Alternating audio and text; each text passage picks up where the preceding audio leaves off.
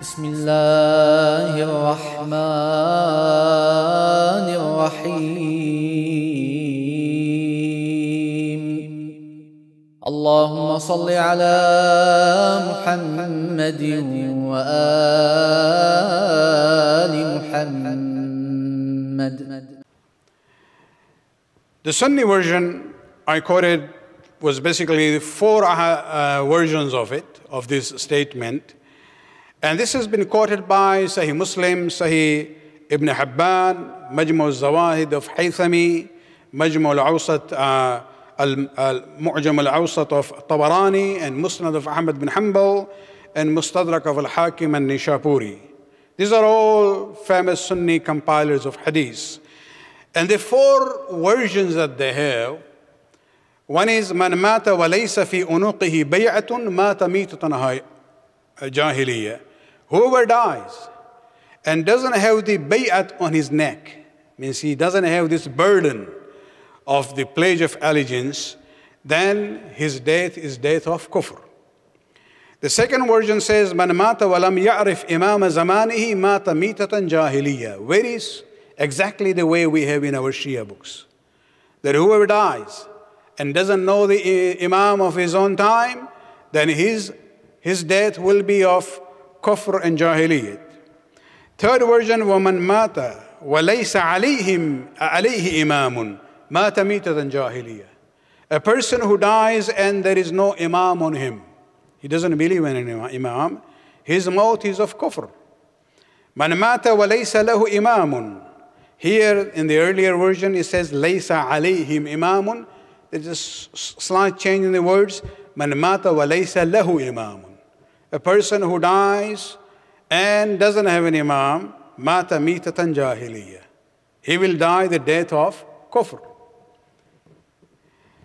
Now, when you look at this, you come to realize, okay, Shias and Sunnis, at least on the concept of this bay'at of the imam of the time, agree on it. There is no dispute. Then we hear the objection that, oh, the Sunni version also are weak. MashaAllah, this, you know,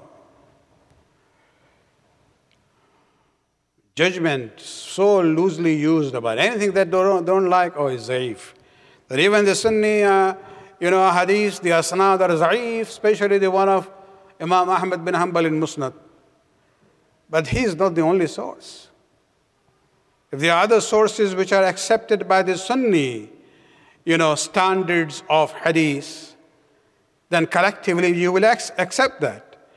For example, you know, this is the problem, you know, the hasty judgment in discarding the hadith, whether it's from Shias or Sunnis. The four versions from the Sunni that I, uh, Sunni sources that I quoted, the first one, من مات وليس في عنقه بيعة مات ميتة جاهلية. This was the first version. This has been verified by the topmost, you know, scholar of the science of hadith of Ahl Sunnah wal Jama'ah of this century. There is a scholar who died in 1991, Sheikh Muhammad Nasir Din al Albani. He was more a Wahhabi than anything else, but not an extreme Wahhabi highly respected by the Wahhabi scholars. One of the muftis of uh, Wahhabi who died recently, he used to actually call him Bukhari al Asr. Means Sheikh Albani is the Imam Bukhari of our time. Among the Sunnis, Imam Bukhari is, is the top as far as hadith is concerned. Sheikh Albani has many, many books in which he classifies the ahadith of the earlier uh, scholars saying this is za'if, this is sahih, reliable, not reliable. And, you know, he has his own, own, his own books where he has compiled the books, uh, the ahadith that he considers to be sahih. One of his books is Silsilatul Ahadith al-Sahihah, means the series of the authentic ahadith. And in that, in the second volume, page 677, he quotes this first version of the four versions of the Sunni uh, hadith about man mata walam ya'rif imam zamani. And he includes that in Silsilatul Ahadith al-Sahiha, in the series of the Ahadith which are Sahiha and authentic. The third version, which is Man mata wa laysa alayhi imamun mata mitatan jahiliyyah, this actually has been narrated by a Sunni scholar of hadith even before Imam Bukhari. And this is um, Ibn Asim, Ibn Abi Asim, who actually lived before Bukhari, before Kulaini, and he has a book known as Kitab al-Sunnah. A new version of his book has been uh, print, printed with uh, notes and annotations of Sheikh Albani, whom I mentioned earlier. And there, under this hadith, Sheikh Albani writes very clearly, إسناده حسن ورجاله ثقات. The sanad of this hadith is good and the narrators are reliable. So after out of these four versions of the hadith of the Sunnis, according to this expert of the Sunni scholar, uh, Albani, two, two of them are considered to be sahih. So this arbitrary statement that, oh, it's not supported by the Sunni scholars, no, you know, this is just, um, you know, a statement not based on facts at all. Salawat And the final point. You know, these people who would like to reform us, they say, well, if you go and ask the Sunnis, what is the meaning of this hadith? من مات ولم يعرف إمام زمانه that if somebody dies that doesn't know the Imam of his time, this fellow says that, oh, it means, the Sunnis say that it means Rasulullah. So it is about doing bay'at of Rasulullah. Now come on. Even Sunnis wouldn't accept that explanation. Even Albani, in the commentary of this, uh, one of these hadiths, he says, you know, somebody who doesn't have the bay'at of Khalifa of the Muslimin. We're talking about the Khalifa or the Imam. We have dispute about who, but this hadith is very clear. It is not talking about Rasulullah, it's talking about bay'at of the Imam of the time or the Khalifa of the time. On a practical level, also, this hadith was used for the bay'at of the Khulafa, not for Rasulullah sallallahu alayhi wa sallam. Salawat pranak barar. Yes, the Sahaba did the bay'at in Hudaybiyah, in Fatah Makkah, in different situations. But this ayat, which says, Man mata walam ya'rif imam zamanihi, is referring to the leader of the time.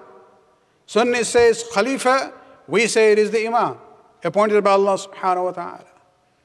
And this is where we have to realize that, you know, among these uh, narrators of this ahadith from the Sunni books, we have Abu Huraira, we have Muawiyah, we have Abdullah bin Umar, and many others. Abdullah bin Omar is a very interesting character in history. This is the son of the second Khalifa, known as a very reliable source of knowledge among Ahl Sunnah wal Jama'ah. See how he imp- implemented this hadith in his life. After the um, events of Karbala, the Umayyad uh, dynasty, there was a change in there. Ali Abu Sufyan came to an end because of Karbala. After Yazid, his son, you know, didn't even survive more than six months, and then he's just abdicated. And so Marwan became the Khalifa after Yazid. When Marwan died, his son Abdul Malik bin Marwan became the Khalifa. The news reaches Medina at night time. Those days, people didn't go to visit one another or official business at night time. It would be done during daytime only. Abdullah bin Omar, when he heard the news that, oh, the Khalifa has changed and it is now Abdul Malik bin Marwan, Marwan has died, at night time he goes to the governor's house. And who is the governor?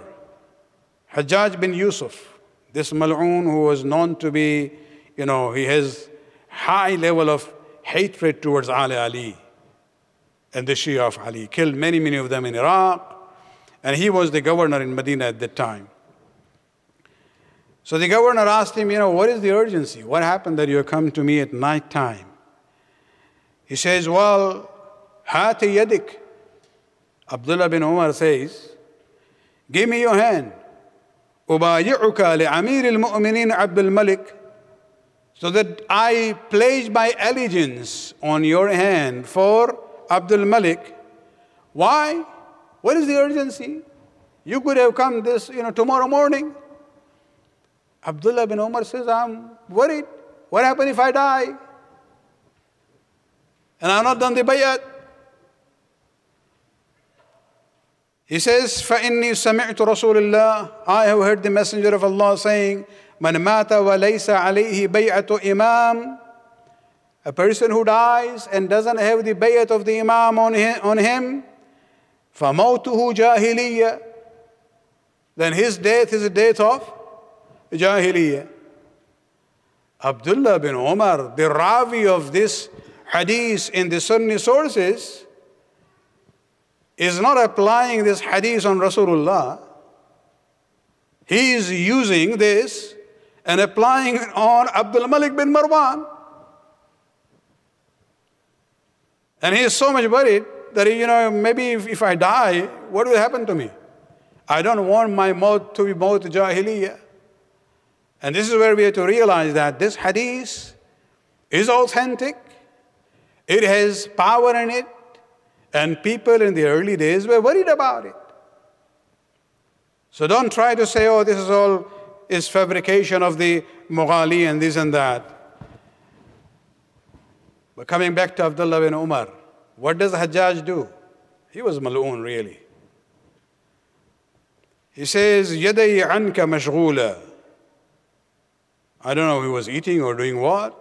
He says, Well, I'm busy. Both my hands are busy. I will not extend my hand for you to do bayat for Abdul Malik bin Marwan. He says, Well, walakin hadha rijli, you know, my feet is here. Take it. Do bayat on that.